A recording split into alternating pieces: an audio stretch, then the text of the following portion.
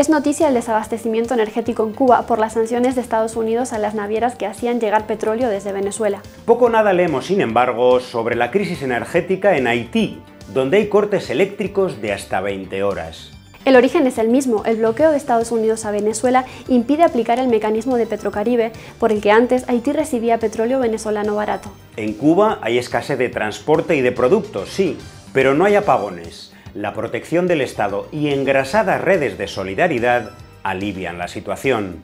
Por contra, en Haití hay hambre y protestas masivas contra el gobierno acusado de corrupción.